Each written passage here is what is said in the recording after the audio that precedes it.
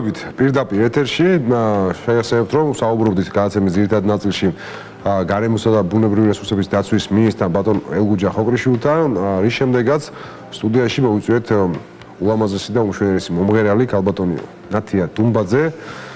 ვისაც მინდა მას მადლობა გადაუხადო და სანამ საუბარს დავიწყებდე, ჩვენმა ტელემაყურებელმა იცის რომ ჩვენ ხუთშაბათობით ვათამაშებთ კომპანია Oriflame-ის მიერ დაწესებულ პრიზებს. ორი პრიზი უკვე გათამაშდა დღევანდელ გადაცემაში მესამე პრიზის გათამაშების ჯერია და მინდა დავასახელო შეკითხვა. შეკითხვა გვარობს შემდეგში. სად მდებარეობს ორიფლეიმის სათაო ოფისი. რომელ ქალაქში და ვიდრე ტელემაყურებლები დარეკავენ მინდა ნათიასაც მივცე პრიზის მოგების შანსი და თუ შენ დამისახელებ თქვენ ვისახელებთ მოკლედ იმ ქალაქს სად არის სათაო ოფისი ამ კომპანიის თქვენ გახდებით აი ამ ერთ-ერთი პრიზის ფლობელი. ესე იგი პირველ რიგში მინდა მოგესალმოთ შუადღემშვიდობის.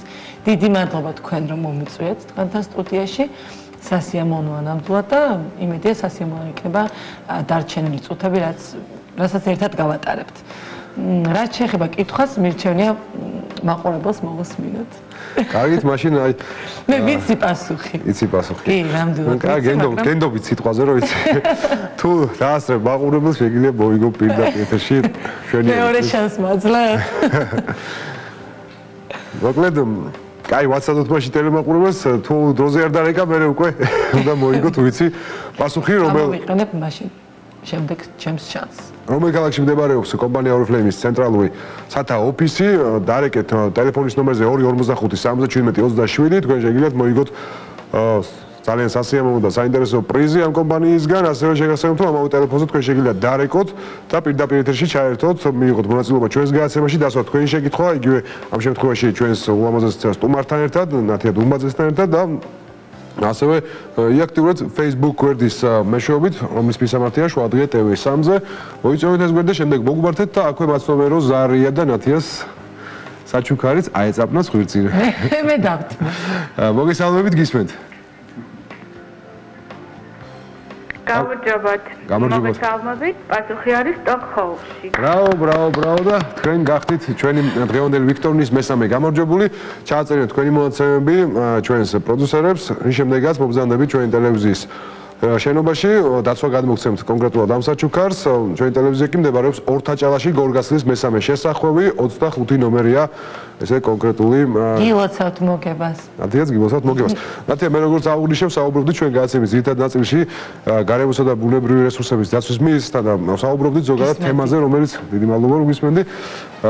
რომელიც ძალიან აქტუალურია დღეს მე ესმჯერა და როგორ ფიქრობ რამდენად უნდა შევიდეს ის კანონები ძალაში რომელზეც ჩვენ საუბრობდით და თვით თუ არა რომ უნდა იყოს აი ეს ჯარებები და სანქციები გამკაცრებული იმ ადამიანებზე იმ დამღვრებზე ვინც აი ნარჩენებს ესე უნიათოდ ყრის ქუჩაში და ანაგვიანებს ჩვენს ლამაზ ქვეყანას მე ვფიქრობ რომ ჩემი აზრი ნამდვილად ის არის რომ უნდა რა თქმა უნდა იყოს ჩარიმები აა იმიტომ რომ მე თვითონ როცა დავდივარ ან ყოველთვის ვცდილობ ქუჩაში აა გამრელს რომელიც აი ესე უტიფრად გადააგდებს და შუა ქუჩაში დაყრის ნაგავს ნამდვილად უნდა იყოს მისთვის დაწესებული ჩარიმა, მაგრამ რაც შეეხება გამკაცრებას, არ ვიცი ზოგადად როგორი წესებია, როგორ რამხელა თანხებთან არის დაკავშირებული, რა თქმა უნდა, არ უნდა იყოს ეს რაღაცა ისეთ თანხებთან დაკავშირებული, რომ რომელსაც უბრალოდ ადამიანი ფიზიკურად ვერ შეწყვეტება. აი როგორც მინისტრმა ბზანა, იქნება ისეთი თანხები, რომელსაც შეწყვეტება ადამიანი, თუმცა ნამდვილად არ იქნება ძალიან იოლი გადასახდელი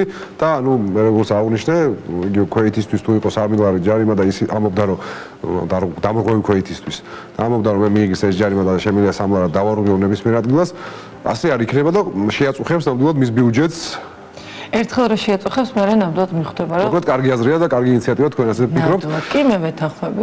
და ზოგადად ალბათ მოუწოდებთ ყველას რომ დაიცვა ქვეყანა ზედმეტი არასასურველი ნარჩენებისგან და ალბათ იმ აქციებშიც რომელსაც იგივე სამინისტრო რომელიც აღნიშნე წამოიწევს თუ იქნება სხვა თქვა სურველი თქვენ აუცილებლად ჩაერთვებით და აქტიურად მიიღებთ ამ აქციებში მონაწილეობას. იქნები აქტიური პირდებით და მოგიწოდებთ რომ ნუ დავაბიძო და დავანაგვიოთ. დავიცოთ წესები და მოვარეთ ჩვენს ლამაზ ქალაქს. მოდი ხა პირადად თქვენ შესახებ განვაგრძოთ საუბარი ალბათ ძალიან ბევრი თქვენი გულშემატკივარი და ჩვენი ტელემაყურებელი სიხარულით ხედავთ აა ტელეეკრანზე და სულს ბევრი ამ შეიტყოს თქვენ შესახებ, თუმცა მოდი თავიდან დავიწყოთ და გავიგოთ ну მეც პირადად მაინტერესებს როდის დაიწყეთ? სიმღერა? რა საკში რაასთან იყო დაკავშირებული ეს გადაწყვეტილება? და როგორ წარიმართა თქვენი პირველი ნაბიჯები. ჩემი სიმღერის კარიერა დაიწყო ფაქტიურად 5 წლიდან ბავშვობიდან. აა ვისურვილი იყო თუ თავად გამოიჩინე ინიციატივა არა იცი მე ესე კარგად არ მახსოვს მაგრამ რა თქმა უნდა გამოვიჩენდი ინიციატივას. მაგრამ როგორც მიყვებიან ჩემო ბებომ ბებიამ აა ერთ-ერთ მოკლედ მაშინ ცხოვრობდი პლეხანოზე და იყო რკინიგზელთა სასახლე, ალბათ ყველამ კარგად ვიცით, შენც გეცოდინება. აა სადაც იყო ანსამბლი, ცნობილი ვოკალურ ინსტრუმენტალური ანსამბლი ნერგები. აი ესეთი ძველი ანსამბლი იყო და იქ იყო მიღება და იღებდნენ 5-6 წლიდან. და ერთ დღესაც ქალბატონმა ქეთევანმა მომკიდა ხელი და მიმიყვანა. კასტინგზე. და სახში გამაფრთხილეს რომ აა ანუ 5 წლიდან არ 5 წლის რადგან ვიყავ ალბათ ანუ იმედოვნებდნენ რომ ალბათობა იყო დიდი რომ არ მიმიღება ან მიმიღებდნენ ან არ მიმიღებდნენ და აა გამაფრთხილეს სახში რომ უნდა მეთქვა რომ ვიყავი 6 წლის და არა 5 წლის. როცა ვიმღერებდი ან ნომერს შევასრულებდი, მე რა უნდა მეთქვა ასაკი. ჩემი და წარმედგინა ჩემი თავი. და მიმიყვანეს გავედი ვიმღერე და ვიცეკვე ლამბადა რომელიც დღემდე ახსოვს ყველას ჩემი შესრულებული ლამბადა და გამოვედი სიტყვით გამოსულა ესეთ სიტყვით რომ აი იცით კითხეს რამდენი წლის ხარო და იცით მე სახში გამავტო კი ვარ 5 წლის მაგრამ გამავთხილეს რომ 6 წლის უნდა მეთქო რომ 6 წლის ვარ თქო და ნუ აი იყო ისეთ ისეთი ამბავი მოხდა რომ ბებია ჩემი იქიდან თვალებს მიგაჩავდა და ნუ ძალიან სასაცილო იყო და რა თქმა უნდა მე მიმიღეს კარგი. და ბავშვობიდანვე აქტიური აქტიური ვიყავი და ალავი და სიმართლის მოყავი. კი. და ძალიან მიყვარდა სიმღერა და დღემდე ესე ვარ და ყოველთვის მიყვარება. შემდეგ 8 წელი ვმღეროდი ამ ანსამბლში. პარალელურად შემიყვანეს ცეკვის ანსამბლში, ქართული ცეკვის ანსამბლში ცეკვავდი 11 წელი. მე ისე მოხდა რომ ორივეს ერთად ვერ ვახერხებდი. მე იყო პირველი პროექტი ჩემი ნუცა სკოლა, სადაც პირველი ესე ვთქვათ დიდი ნაბიჯი გადავდგი, რა ვიცი, ალბათ ასეა. ნუცა სკოლაში გავედი ნახევარფინალში და მე გამოვეთიშე პროექტს, მაგრამ რა თქმა უნდა ძალიან დიდი წარმატება მომიტანა, მაგრამ სანამ ნუცა სკოლაში გავიდოდი, ბედივსა და მის საქართველოსზე გამოვედი. ალბათ არიცი. და ბერმა არიცის, იმიტომ რომ პატარა ვიყავ 16 წლის ასაკში. აი მაშინ მაშინ გახდა მის საქართველო ირინა ონაშვილი. და იქიდან მეგობრობთ ჩვენ და იმ დროს გავხდი მე მის ხალხის სიმპათია. აა მის საქართველოს პროექტს მოყვა. აა ნუცა სკოლა. ნუცა სკოლის დამთავრების შემდეგ იყო ესეთი პროექტი იმედის ტალღა, სადაც ლელა წორწომიასთან ერთად მომიწია ლელა წორწომიას გუნჩი სიმღერა. შემდეგ იყო პროექტი ჯეოსტარი და ჯეოსტარი შემდეგ იყო ერთ-ერთი ბოლო პროექტი ერთ-ერთი სადაც ავიღე მეორე ადგილი, გავედი მეორე ადგილზე. და ძალიან შემოგვიყვები და თვლიდი რომ ვიყავი მართლაც ერთ-ერთი რეალური პრეზიდენტი გამარჯვების.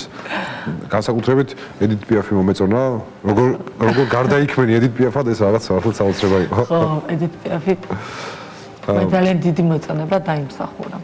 როგორ მე არ ვიცი და ალბათ არც გითხოვს რომ თუ გაქვს მუსიკალური განათლება და ზოგადად რა პროფესიის ხარ?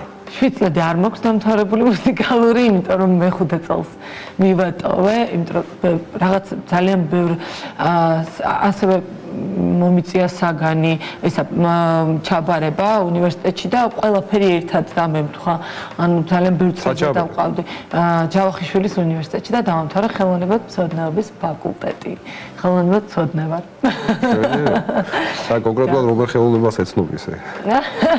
ძალიან ახლოს. სამხატრო ხელოვნება. ხატო კიდეც? არა, ხატო არ მეხერხება, თეორიულად შეიძლება. აზე ხარ რა. ხო, ასე ვთქვათ.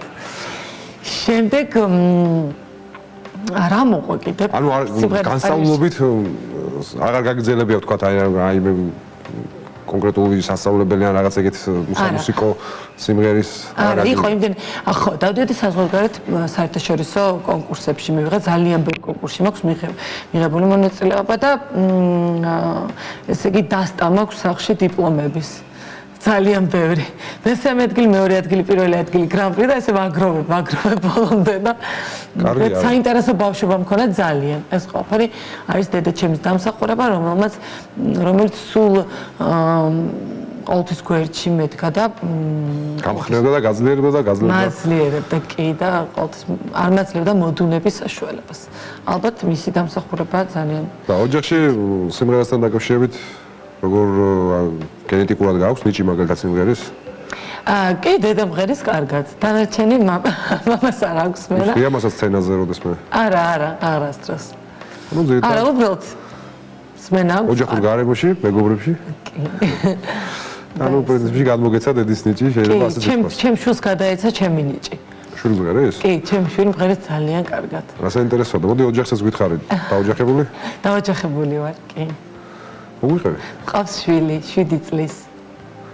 მეუღლე აა და როდის დაოჯახე? აი ამნიშნა მე ძალიან პატარა. ალბათ პირდაპირ სილამაზის კონკურსიდან ხალხის სიმპათია როდესაც გახდი მას შემდეგ. არა, სხვათა შორის. არა 18 წლის ასაკში. ჩესტერს მის საქართველოსზე 16 15 წლის ვიყავ რომ გამოვადი ასე რომ აა მაშინ ძალიან პატარა ვიყავი და 18 წლის ასაკში დავოჯახდი და მე ჩემეძინა ბიჭი რომელსაც ქვია დუდუ და აქვს უნიკალური სმენა და ძალიან უყვარს სიმღერა.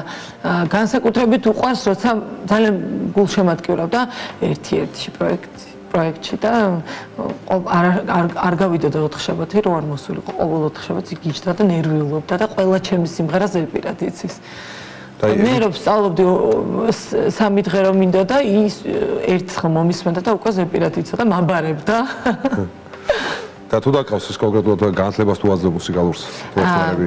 გიტარას დავდივართ, გიტარას სწავლობს ჯერჯერობით, დამყავდა რა თქმა უნდა ვოკალის პედაგოგთან სიმღერაზე, მაგრამ ეხლა დაიწყო სწავლა და ძირითადად თვართ ჩართულები სწავლაში, რომ სკოლაში კარგად ისწავლოს.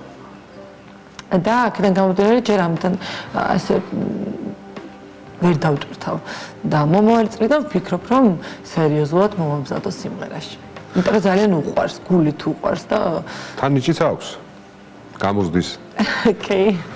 მოგეთილი რა მაინტერესებს? მუსიკალური რგოლიც გვაქვს გადაღება. მართლა? კი. საინტერესო.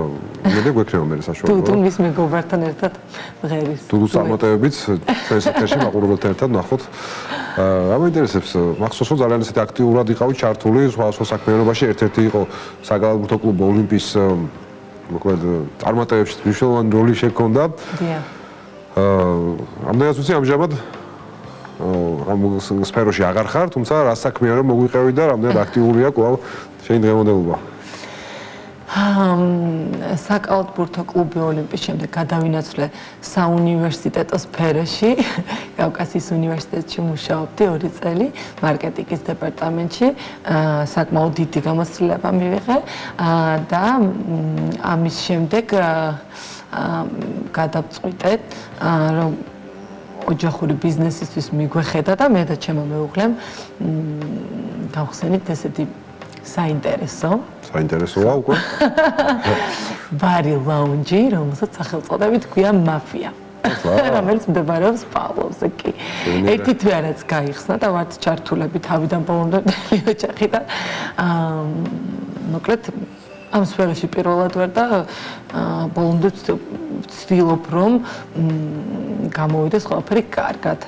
აა სულ რაც გამოგდის მე მგონი რასაც ხელს კიდევ ყველაფერი საკმაოდ შეძლებს დაგვარად. მაგრამ ახლა ვარ ძალიან მონდომებული და სხვათა შორის სიამოვნებით დაგპატიჟებ, შეგიძლია მოხვიდე. მეგობრებთან ერთად დაგპიჯები არიან? მეგობრებთან ერთად, რა თქმა უნდა. გიყვარს ბარები? აა, არის იტალიური და იაპონური სამზარეულო, სუში თუ გიყვარს? სა, სუში და იტალიური სამზარეულო. ყველაზე გემრიელი და ყველაზე დაბალი ფასებია ჩემს ლაუნჯში, ასე რა? ფასები მეთქი პატიჟებს. არა. რა თქმა უნდა, დაგპატიჟებ ეს ისე ზოგადად რომ აყურებელმა გაიგოს. სად იმყოფება ჩემი შექმნილი აი ამ საინტერესო ბიზნესის გარდა რა გეგმები გაქვს უახლოეს პერიოდში და ასე ვთქვათ, შემოქმედებითი კუთხით რას უნდა ველოდოთ ნათია დუმაძისგან? შემოქმედებითი კუთხით ვცდილობ რომ ჩავწერო ახალი სიმღერები.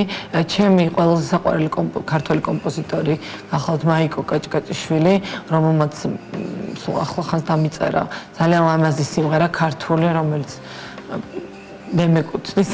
ანუ ძირითადად ქავერებით ვართ ხოლმე შემოფარგლული მომღერლები და ცოტა ჭირს, ანუ რაღაც ახალი პროდუქტის შექმნა და რთულია და დიდ ფინანსებთან არის დაკავშირებული. აა ჯერჯერობით მუშაობ ამ ახალ სიმღერაზე, აა კიდე ვცდილობ რომ ბევრი დავწერა და ბევრი მქონდეს ჩემი შექმნილი აა, პირადი და ასევე ვფიქრობ ვიდეო რგოლის გადაღებას, რომელიც აა, დაახლოებით ახალი წლის შემდეგ დავიწყებ ამ თემაზე მუშაობას. დაგეგმილი მაქვს უკვე ძალიან დიდი ხანია, ვიცი რას უნდა გავაკეთო, მაგრამ ახალი წლის შემდეგ უფრო ახალი წლის შემდეგ უფრო კარგად დავგეგმე მოკლედ და იმედი მაქვს რომ იმედია რომ ამ ახალ წელს მოვასწრებ დამთავრებას. ძალიან გამიხარდება და საინტერესო იქნება მართლაც და ნუ კიდევ ერთხელ გავუსვამ ხაზს როგორც თულუსთან ერთად ასევე თავადაც ყოველი სიახლე ყოველი წარმატებული ნაბიჯი გამიხარდება თუ ჩვენ ეთერში გაჟღერდება და ჩვენ სტუდიაში იქნება პრეზენტაციები და ზიამოვნებით. ძალიან კარგი მოკლედ დიდი მადლობა მობრძანებისთვის თქვენ მადლობა, გამიხარდა შენი ნახვა.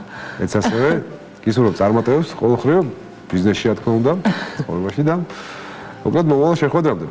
ტელემაყურებელს კი შევახსენებ რომ ჩვენ სარეკლამო ჭრისა და საინფორმაციო კოლაჟის შემდეგ გველის ტრადიციული სამედიცინო კოლაჟი ჩვენს გენერალურ სპონსორ ლანცეტთან ერთად. ასე რომ დაგველოდეთ